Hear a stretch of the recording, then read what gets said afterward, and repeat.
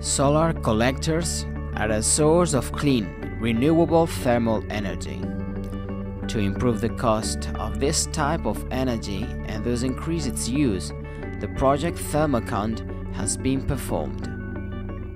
Two years of research, a team led by Aimplas and composed of five companies and two technology centers in Spain, the Netherlands, United Kingdom, Hungary, and Cyprus, with a great goal the substitution of metal parts of solar collectors with plastic. The collectors are devices that are mainly used for domestic applications, basically for heating water. Its function is to absorb sunlight and convert it into thermal energy. Thermal collectors are mostly made of metallic materials, especially copper, but also aluminum and steel.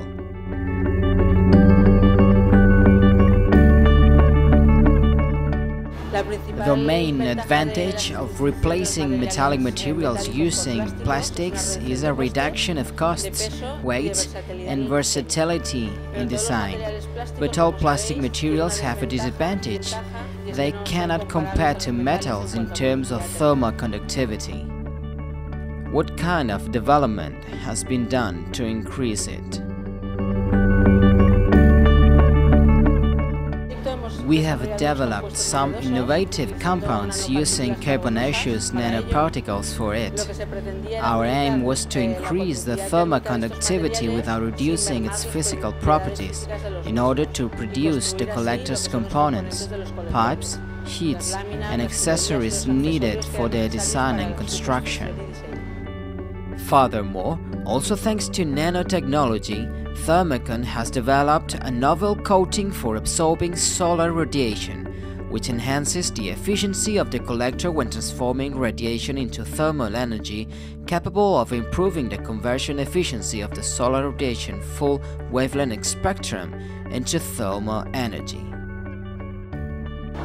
Basado también en la nanotecnología, se ha desarrollado un recubrimiento.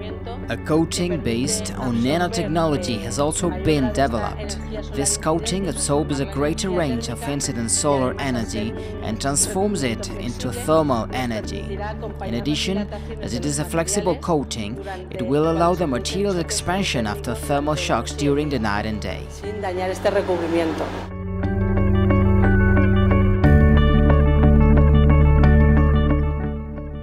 ABN Group, Archimedes, Risenergy, Colorex Masterbatch, Proform, Avanzare, Smithers Rapra and Aimplas have participated in this initiative funded by the European Commission under the 7th Framework Programme, a project that is a step in the commitment to renewable energy.